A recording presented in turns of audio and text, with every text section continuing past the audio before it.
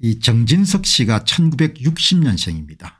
우리 윤 대통령께서 1960년생이고 얼마 전에 이제 그만뒀던 예, 국민의힘의 당 대표를 지내셨던 김기현 당 대표가 1959년생이고 지금 대한민국의 권력의 굉장히 중심은 1960년대 중심으로 운동권을 살짝 벗어난 그런 어, 세대가 지금 권력의 중핵을 차지하고 있죠. 이 정진석 씨는 특별히 이제 두 가지를 우리가 기억을 하게 됩니다.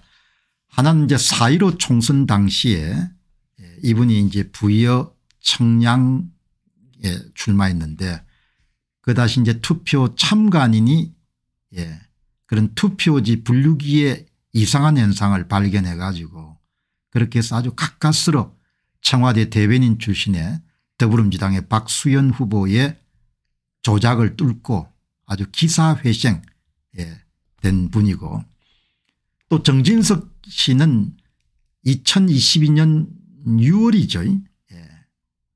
이른바 윤심이 등장했을 때 그런 김기현 당대표를 당선시키는데 비상대책위원장을 지냈고 그 비상대책위원장에서 예, 일부 이제 나이가 드신 그런 국민의힘의 오랜 관력을 갖고 있는 그런 당원들이 단식 투쟁을 함에도 불구하고 예, 그 말도 많고 탈도 많았던 그 선거관리위원회에 국민의힘의 당대표를 위탁관리하는 그 결정을 내린 인물입니다.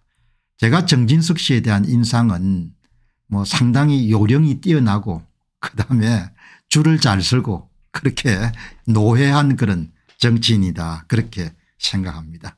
그래서 이번에도 이제 잽싸게 그냥 줄을 뭐 정치하는 사람들이니까 줄을 잘 써야겠죠.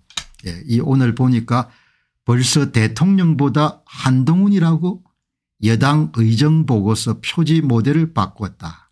예, 그런데 뭐 기자들이 또 이제 그런 가십거리를 찾기가 좋으니까 이런 기사를 냈겠지만 예, 대통령 얼굴을 본인의 의정보고서에 넣은 것이 아니고 예, 한동훈 씨하고 찍은 사진을 의정보고서에서 올려가지고 예, 그렇게 해서 아주 예, 사람들이 쿡 한번 찍었네요.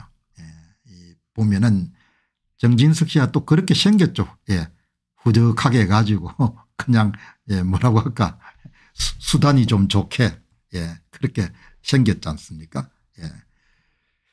어쨌든 참 이 정진석 씨를 내가 다시 보게 된 거는 뭐4.15 총선의 부여 청량에 대한 그런 선거 부정 문제 입을 담은 것은 본인도 정치를 해야 되니까 뭐 그렇다고 치더라도 2022년도 6월 나경원 씨를 끌어안치고 김기현 당대표를 무리하게 당대표로 당선시키기 위해 가지고 예, 그 당시에 한참 선거 무효소송이 4.15 총선과 관련해서 진행되고 있음에도 불구하고 예, 그거를 예, 그 단식 투쟁을 뚫고 결국은 선거관리위원회에 도움을 받아서 김기현 씨를 당선시킨 거죠.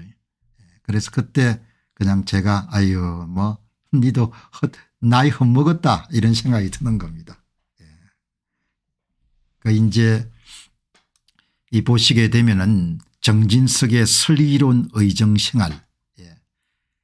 충남 공주 부여 청량을 지역구를 가진 정진석 국민의힘 의원은 지난 1월 8일 제21대 국회 의정보고 종합편 표지로 한동훈 위원장과 함께 찍은 사진을 사용했다. 의정보고에는 한동훈 위원장의 취임 초반에 언급했던 함께 가면 길이 됩니다를 직접 인용하기도 했다. 예. 뭐 한동훈 씨 인기가 떠, 뜨니까 정진석 씨가 뭐 그렇게 또 사용했겠지만 기자 눈에는 야 어떻게 저렇게 발빠르게 그냥 예, 모델 체인지를 할까 그렇게 아마 생각이 들었던 겁니다. 저도 이제 보니까 참 요령이 참 좋고 예, 수단이 참 뛰어난 사람이다 그리고 유들유들한 사람이다 이렇게 생각했지만 어떻든 간에 줄을 빨리 바꿔서 이제 서구나 이렇게 생각이 드네요. 예. 참 보면은 예. 그런데 이제 한 분이 통상 대통령을 앞세우는 것이 일반적이지만 지지율이 지지부진한 만큼 대통령이 여야당의 지지세가 평평한 충청 지역이 먼저 여론에 발빠르게 움직여야 한동훈 위원장을 내세우는 전략을 택한 게 아니냐는 분석이 정치권에서 나온다. 그건 정치권에서 나오는 것이 아니고 예, 기자가 그렇게 해석했는데 내 눈에도 이렇게 해석이 가능한데 한 분이 쿡 집어가지고 임기가 창창하고 권력력이 어떤 사람들인데 총선이 끝나도 한동훈이 계속 대장행시하게 그냥 둘 것 같습니까 예. 선거 패배하면 은 회장을 당대표라고 밀 것 같습니까 민다고 될 리 있습니까 백마를 타고 온 선구자만 희구하는 이 전근대적인 국민정치 의식을 이용해 먹는 저 권력욕의 화신들이 저는 정말 징그럽습니다. 이렇게 한 분이. 근데 찬반이 다 한 분한 분으로 예, 찬반이 이렇게 갈리게 되네요. 예. 여러분 이 뭐 지금 다들 한동훈 열창을 부르는데 예. 여러분 다시 한번 이 논평하기 전에 제가 분명히 말씀드리겠습니다. 저는 태생적으로 자유주의자입니다. 그래서 이 논평에서 때로는 좀 불편한 내용을 들으신 분도 계실 겁니다. 그러나 분명히 제가 양해를 구하고 싶은 것은 저는 이 공병호 tv를 운영하는 논조의 기본이 어떤 종류의 정치적인 욕심이나 이런 것을 다 내려놓은 사람이기 때문에 오로지 내가 예, 양식과 양심에 기초해 가지고 사회를 바라보는 그런 시각에서 내리는 평론을 공병호 tv를 통해서 공개한다 이 원칙입니다. 그러니까 사심 없이 한 개인 내는 주관적 의견이다 이렇게 보시면 좋겠습니다. 그러니까 일제로 예, 여러분과 의견이 좀 다르시더라도 예, 저 양반이 뭐, 어, 뭐 무슨 이렇게 생각하실 필요가 없다는 겁니다.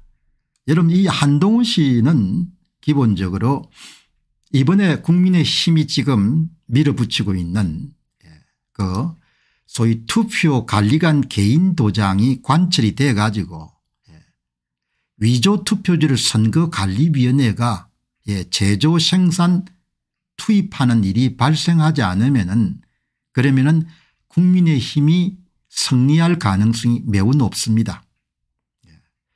그런 확률적으로 그렇게 높지 않은 그런 투표 관리관 개인 도장 관철이 이루어지게 되면은 그러면 한동훈 씨가 지금 많은 사람들이 여러와 같은 그런 예 찬양을 보내는 것처럼 4월 10일 총선 이후에도 당대표를 맡고 대권 후보까지 무난하게 갈 수 있겠죠.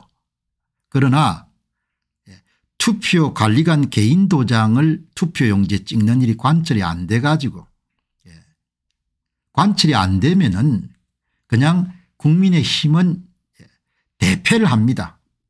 대패를 하게 되면 은 그러면 한동훈이고 뭐 한동훈이 할아버지고 윤석열 대통령이 간에 다 크리넥스처럼 버려지는 겁니다. 당 대표나 비상대책위원장이라는 것은 기본적으로 선거에 책임을 지는 사람입니다. 그러니까 그렇게 타이밍상으로 별로 좋지 않은 시점에 한동훈 비대위원장이 되신 거죠. 그러니까 모든 것은 선거에 달려 있는 겁니다. 그 정진석 씨는 한동훈 씨가 예 선거 4.15 4월 10일 총선을 승리로 이끌 것이다 그렇게 확신하기 때문에 뭐 그렇게 예 줄을 갈아탄 것 같죠. 예 그러나 제 판단은 다 예 참 사람들이 그렇습니다. 예뭐 국회의원 뺐지 5선 6선 다 좋은데 정진석 씨는 특별하게 4.15 총선에 예, 그런 개표 참관인의 그런 예리한 덕분에 오선 의원이 지금 된 거죠. 그렇지 않았으면 본이 벌써 뭡니까 낙선이 됐을 겁니다. 참 여러분 의인이 없는 나라입니다. 예. 과거에는 그래도 5선 6선 의원 같으면 우리가 나이가 어려서 그런지 모르겠는데 정치 원론들에 대한 조금 이렇게 존경하는 마음도 있었던 것 같아요. 뭐 우리가 나이가 지금 들어서 그런지 모르겠는데 지금 뭐 60년대 주변에 다선 의원들 활동하는 걸 보게 되면은 예, 한마디로 조금 세상 용어를 표현하면 정말 젊은 사람 못지않게 싸가지가 없다 이런 생각이 드는 거죠. 예. 제가 분명히 말씀드리면 은 현재로선 투표관리관 개인 도장이 여러분들 관철이 돼 가지고 소위 사전투표 조작이 4월 10일 총선에서 일어날 가능성은 현재로서는 낮습니다. 낮고 선거관리위원회 입장에서 우리가 한번 생각해 보면 은이 투표관리관 인쇄도장을 사용하는 것은 선거관리위원회의 조작 세력들한테는 전부입니다. 전부이죠. 그 정도로 뭐죠 그것을 쥐고 있어야 될 정도로 중요한 일입니다. 한쪽은 어마어마하게 절박하고 한쪽은 절박하지 않은 겁니다. 그래서 이만희 의원이나 김상훈 위원장께서 노력을 하시지만 이게 관철될 가능성은 국민들이 크게 여러분들 분노에가 힘을 더해주면 가능할지는 모르겠는데 현재처럼 대다수 국민들이 관심이 없고 예, 그런 상황에서는 국민의힘의 특별위원회 위원들이나 위원장 힘만으로는 관철시키기가 쉽지가 않은 거죠.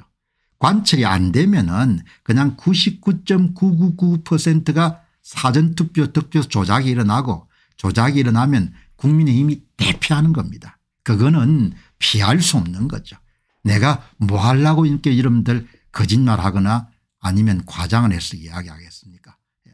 국민의힘이 대표가 되면 은 그냥 한동훈이라는 사람은 그냥 크리넥스처럼 버려지는 겁니다. 한번 쓰고 용도 폐기가 되는 거죠.